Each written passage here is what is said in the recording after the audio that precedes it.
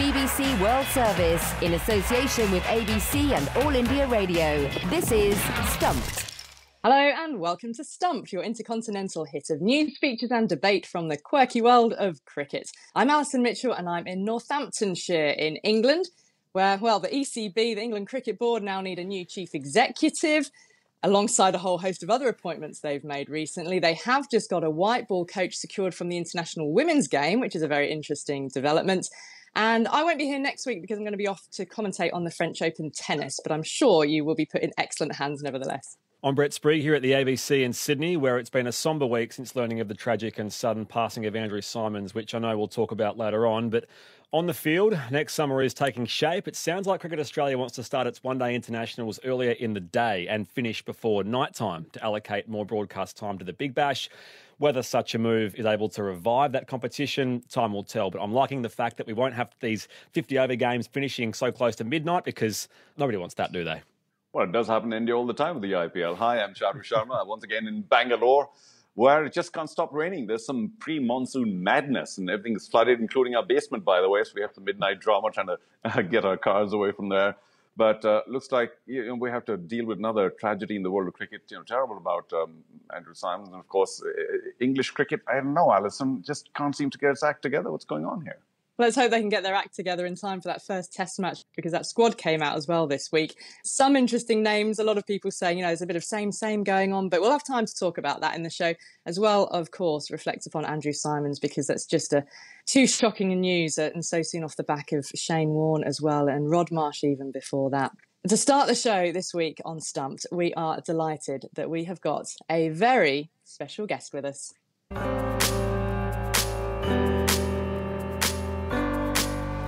This is carved away and it's going to be his 100. And what a fabulous knock. Well batted Ross Taylor. Southey goes in round the wicket to uh, Stokes, who is caught at slip. Taylor has taken the catch. Taylor chases and swats the ball away, and that is 250 to Ross Taylor. Taylor is to 50. Another half century for Ross Taylor. Ross Taylor slogs this away. Six runs just. Oh, and the bloke's caught it in he's one of those shirts. And he's caught $50,000. Taylor repeats the shot again, hits it high into that square leg area for another six. And Ross Taylor reaches another 100 for New Zealand. Well, look, if the legend that is Sachin Tendulkar describes you as an inspiration for all the young kids aspiring to be cricketers, you know you've made a pretty big impact. He has scored more test runs, more ODI runs, more ODI hundreds, more overall hundreds than any other batter in New Zealand's history. He's recently retired after a long and distinguished international career. It is the ex captain and now former New Zealand bat, Ross Taylor. Ross, welcome to Stumped. How was it listening to some of those highlights? Oh, thank you. Thanks for having me. Yeah, I suppose a lot of those were new to me. I guess you're playing in those games, hearing the commentators uh, calling me slogger. Uh, that was interesting. um, it, was, it, was, probably a fair, it was, probably a fair, uh, a fair comment, but uh, no, some positive memories. And it doesn't feel like I've retired just yet. But I'm sure once the team, you know, warming up and getting ready for that test at Lords in, in a couple of weeks' time, uh, I'm sure it'll hit home a little bit more than it has uh, in the last couple of months, anyway. I mentioned that Sachin Tendulkar tweet, uh, you replied to him in Hindi, didn't you, at the time, which was a, a nice touch. Sachin's been an inspiration to a lot of players and, and young kids growing up, and, and I was no different. Um, he was one of my favourite players, along with Mark Waugh growing up. So to have played against him a few times and, and to obviously have got that message uh, is something I'll never forget. I know you announced your international retirement back in December, but it was only last month when you, you played your your last game. Uh, we spoke to you on Stump, what was it, two years ago to mark your 100th Test match and 100 international appearances across all three formats as well, which does speak, you know, volumes about the longevity of your career over those 16 years. And you said at the time, you know, the the, the R word was cropping up, but former players advised you, you know, that you are a long time retired. So having played until the age of 38 what then made you decide that you know now was the time to stop? I think you, everyone talks about the right time. If you go on a little bit longer, I probably would have had to have committed to play the next World Cup, and it just gives the next bunch of guys a few more opportunities to play. COVID probably put a, a halt to that. It was um, pretty disjointed. It was, you know, everyone in, in all parts of the world were affected in different ways. And, you know, when you're getting older and, and not being able to play as often, it probably um, you know, made me retire a little bit earlier than I probably would have liked. But uh, no, I'm really comfortable with my decision. Ross, going back to the start then, tell us about your first involvement in sport and how important that was for you growing up. I grew up in a little place called Masterton, just north of Wellington, and a, a country town that you just grew up playing everything rugby, basketball, volleyball, netball. You're just encouraged to play it. And when you're a little bit better than most in a small place, you get um, put on a pedestal pretty early and, and you end up playing with kids, uh, I guess, a, a, lot older than you. That makes you better. So I think, you know, that probably culminated in, um, you know, I, I, was a very good hockey player and, and, probably at 15 or 16 had to decide which way to go. But, uh, you know, growing up in a rural area in New Zealand and playing with kids older than me and having some bigger cousins that were pretty pretty hard on me. Um, probably um, helped me out along the way. You came over to England, didn't you, quite a young age and had a very formative experience at Lords, which seems quite fitting. We're talking to you only a couple, in a week or so before New Zealand will take on England at Lords. But tell us about that. It's not there anymore. New Zealand Cricket used to have a scholarship to uh, the MCC to be on the ground staff, to be a YC for six months. It's a young cricketer. So uh, I didn't really know much about Lords, to be fair. I heard about the slope and but coming from a population of 20,000 to the population of London uh, was definitely an eye opener. Um, but no, it was a it was a good baptism of fire to really pursue the career that I wanted to, um, to live and breathe cricket, to play at Lords. You know, inspired me to want to come back here and um, probably play county cricket and hopefully one day for New Zealand. So um, I was able to tick off a lot of those goals. Uh, wasn't able to get on the honours board, but uh, a few family members have gone through the, the MCC tour over the years, and apparently um, my name's come up a few times uh, for hitting the six over the, the members' side. So uh, it couldn't have been all too bad. You know, I was actually on one of those tours just yesterday, Roscoe, and your name did come up. You're absolutely oh, so, so they are right. They're still mil- milking it, yeah. uh, yeah, just I, I, obviously there's not many stories to tell, but um, I thought my family were just making it up. So I'm glad true. that someone could um, actually um, can actually say that. And your rise to the captaincy did happen pretty quickly. Of course, 2010, you had your first taste of the the national captaincy. Talk us through that, and I guess how you coped with that responsibility uh, of that uh, role initially. I got it by default a little bit. I, I was vice captain. McCullum and uh, Vettori uh, were on maternity leave. Yeah, it was it was a strange one having to captain players that are older than you um, and significantly older than you. Um, I'm, I'm half Samoan, and you always were told to respect your elders, and it was it was really hard. To, I found it really hard to tell older people who were in some cases a decade older than you um, what to do. Um, but no, I, I enjoyed the challenge. I thought it brought the best out of my batting. But yeah, I suppose it was good. It was good fun. Um, had some good results, but yeah, I guess history will will probably say something different. Well, I'm not so sure. I mean, history remembers you very fondly, Ross. Uh, hi, this is Charu Sharma from Bangalore. Can I take you back to 2008? It was a very special year for all of us because that's when the IPL started, and it was wonderful to welcome you to RCB that year. Uh, give us some of your early memories. Uh, when I was picked up by Bangalore in the second auction, I was just ecstatic to go over. no one really knew what to expect. I didn't play in that first game. Uh, I can remember Martin Crowe said to me, Brendon McCullum was on the Red Bulls. He said he's either going to get a duck or 80. I mean, Brendon ended up getting 158, which probably probably helped us out. But for me, being a youngster, sharing a dressing room with guys I'd watched on TV, Dravid, Kumble, Kallis, Boucher, guys that were, were legends of the game, I, I think that helped my cricket, and I think it helped um, New Zealand cricket. I think it it broke down the walls, the aura that these people had. But no, I think the way Brendon batted in that first game in the tournament set the tournament alight, but also gave me an opportunity. I probably wouldn't have played the second game if Brendon hadn't scored 150. we bet Mumbai. Sachin wasn't playing, but um, at the old One Wankhede Stadium, um, I can remember hitting Harbhajan for a couple of sixes. I didn't know which way the ball was going, so I just slogged them. Um, a couple came out of the middle, um, and and one landed on the roof. So um, looking back on it, obviously, once you're retired, you, you, have fond memories. But at the same time, you you know, I was pretty naive and pretty raw back then, and it probably wasn't a bad thing. And of course, uh, I mean, we would seem to think that that's a high point in your career, but would you consider it so? Winning the World Test Championships, the first one, always special. Yeah, I think so. I think to win the inaugural one, people keep telling me, "Why do you mention it?" But um, after the heartbreak of 2019, um, I never thought I'd say I wasn't going to mention it. yeah, that's why I, it's, I might as well bring it up because it normally always comes up anyway.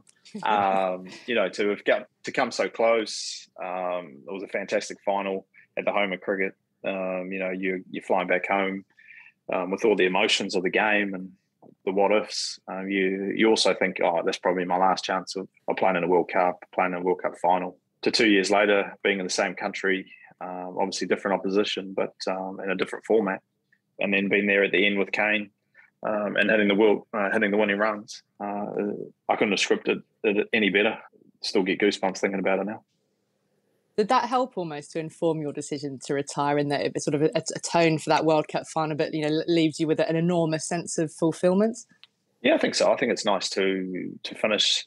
I think as a kid growing up, you always want to be a world champion, um, whether it's realistic. If you'd have told me back in 2006, seven that you'd become a world champion with New Zealand, you know, we're always uh, we always played well at tournaments, uh, but we just weren't quite good enough. So towards those last few years to make finals, uh, I think that was a big plus. But to, to finally get over across the across the line, um, I don't know if it made the decision easy. I think you, when you've done something for so long, it's always quite tough. But it definitely made the loss of 2019 a, a lot easier to take. So the Test series about to start, England versus New Zealand. What did you make of the appointment of Brendon McCullum to the England Test team? And obviously, your your relationship had its ups and downs throughout the year. I'm interested. Did, did you sort of exchange messages at the moment? Has he has he had any message from you or vice versa? Yeah, I sent him a message um, once he got it to congratulate him. Two weeks ago, if you had told me Brendon was going to coach England, I would have said no chance. Um, what I, and then then to have to coach the white, white ball team, I probably would have said, oh, maybe. Uh, but the test team, um, it's a complete surprise to a lot of New Zealanders. Um, but, you know, it's no surprise that he interviewed well. You know, I, I think his combination with Stokes is going to be, you know, that's going to be an interesting one. They'll be, you know, very attacking. And no, I'm just excited to see see how they go. I think um, added dimension with Baz being the being the coach. Um, if there's any person in that knows our team um, the best. It's going to be Bear, so I'm sure he's going to be passing on some inside information. I'm sure that first morning of that test and when they do see each other, it's going to be a bit strange for everyone. But um, I think uh, he's, he's going to do a, a, you know a fantastic role, and I look forward to seeing um, how him and Stokes and, and, the rest of the team uh, develop over the years. Well, we wish you certainly a lot of peace and enjoyment. Congratulations on your international career, Ross, and we've really enjoyed chatting to you about it here on Stumped. Thank you. Thanks for having me. From the BBC World Service, this is Stumped on All India Radio. Next on Stumped, England's men's cricketers might not have played a match for a couple of months, but goodness me, it has been a busy time off the field. They've got a new test captain in Ben Stokes, new test coach, as we've been speaking about, in Brendon McCullum. And there's been even more this week. Tom Harrison resigned as chief executive. James Anderson and Stuart Broad recalled to the test squad for uh, these first matches against New Zealand, and has now been the appointment of the new white ball coach, which is Australia's highly successful women's coach, Matthew Mott, on a four year deal. Brett, has that come as a bit of a shock to Australians to lose Matthew Mott? yes, because England's gain is certainly Australia's loss, Ali. So personally, yeah, I've been lucky enough to work with Motty on our ABC coverage of WBBL, where his unique insights as national coach have been tremendous, and he's just a really lovely bloke. Um, I'm happy for him. Obviously, he's a popular coach, very team first driven, very open to the evolution of the game and certain game plans, which are always, a, I guess, a cornerstone of white ball, particularly T20 cricket. So he would already have an idea of what sort of brand of cricket he wants this England team to play, and indeed who should be a part of its best 11. Uh, he presided over three World Cup wins, three Ashes, that run of 26 straight one day international wins, of course, for the Aussie women as well.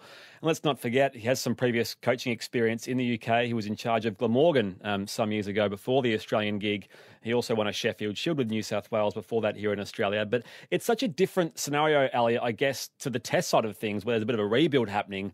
England is already reasonably successful as the defending 50 over champions, currently ranked second, also ranked second in T20s. Of course, interestingly, Matthew Mott's first big assignment in charge will be the T20 World Cup later this year in his home country. That's a, a great place to start. But yeah, a bit of a shock, but uh, certainly well deserved as regards the administration, Clare Connor steps up as interim CEO for the ECB. So that's quite a significant move as well. She's the busiest woman in world cricket with her ICC role. I think her ECB women's role, she will step back a bit, you know, from that in order to take on the, the, the CEO role in that interim period. But I would not be surprised at all if she put her hat in the ring for that role full time and she would be absolutely qualified to step up. Brett, I did want to turn to the very sad news from Australia, more tragic news with the loss of Andrew Symonds, who was oh, just a, another dynamic cricketer in his day who had become popular you know, behind the mic doing some commentary as well in recent years too. He's only 46 years old. Just tell us about the response down under. Yeah, it's been, as you can imagine, uh, extremely deeply felt, um, given the other recent losses, in particular Shane Warne from the same era. Look, Andrew Symonds typified Australian laconicism. Uh, he could smack the ball around, he bowled spin, he bowled pace, he was a world class fielder before we truly came to appreciate world class fielders, he loved a beer, which is always endearing to the Australian public, but perhaps not so to the Cricket Australia hierarchy at times. But Aussie cricket fans remember Andrew Symonds so fondly. Certainly Queenslanders do. I was up in Queensland when the news broke, and there were 40,000 fans at a rugby league match I was at that observed a pure moment's silence. The respect was always there for him. And I just feel for his family, obviously, and his children are only mm. still quite young, primary school age. But again, it's a loss that the cricket community will will feel together. Yeah, well, I you know I've heard Harbhajan Singh particularly uh, recall some fond memories later on when they came to be colleagues, and I think all of India particularly appreciated his enormous skill, his his genius really with the bat, and he was a pretty handy bowler as well. And Brett, you mentioned his fielding, so an all-round cricketer, you know, one of the best in the world. It's truly tragic. Yeah, he'd only been passing comment, hadn't he, at Shane Warne's funeral that Shane Warne was gone far too young, and then so soon after, 46 years of age, uh, a car crash. Yeah, e- extremely sad news. Andrew Symonds played for Australia for over a decade across all formats, two World Cups, two 50 over World Cups, of course, that he helped them to win. His, his brilliance in, in the, the, the white ball game was, you're right, Charu, that, that word sort of genius. He had a he had a special touch well, that is it for Stumped this week on All India Radio. Don't forget you can follow us on Twitter. We're at BBCWS Sport and use the hashtag BBC Stumped. And check us out on YouTube as well. Go to the BBC World Services YouTube channel. My thanks to Charu Sharma and to Brett Sprigg, and of course to our special guest Ross Taylor. And to you for listening. We'll see you next week. Bye bye. Stumped is a BBC sport production for the BBC World Service in association with the Australian Broadcasting Corporation and All India Radio.